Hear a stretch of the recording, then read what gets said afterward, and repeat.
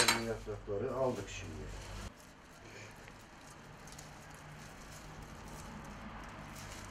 Sağa sola dağılmasın diye bu şekilde küçük şey atıyoruz. Olmazsa olmazı. İsteğe bağlı. Böyle beyaz gelin çiçeği diyorlar halka.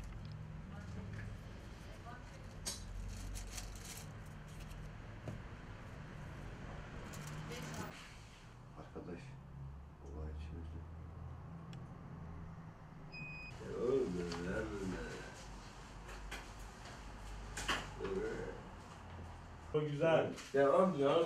Yana yana.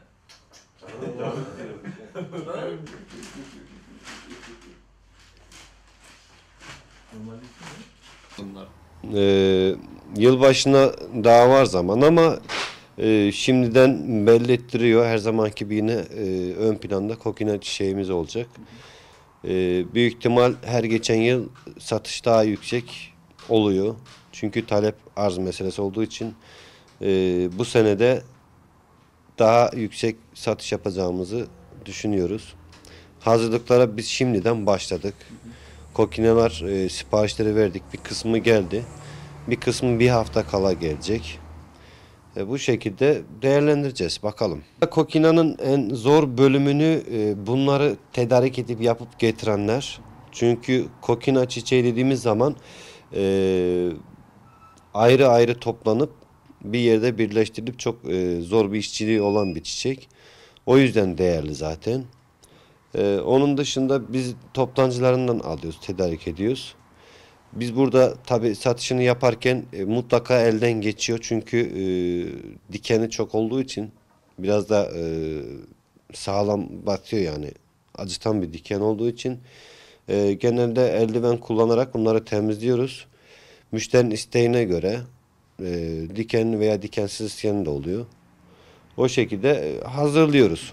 Vazoda oluyor, e, buket oluyor, kutu içerisinde oluyor. O tamamen müşterinin tercihi. Fiyatları e, geçen seneye göre biraz daha farklı. Bazı yerde şimdi e, geçen sene 30'a satan vardı, 25'e, 20'ye satan vardı ama bizde sabitti. 25 30'du.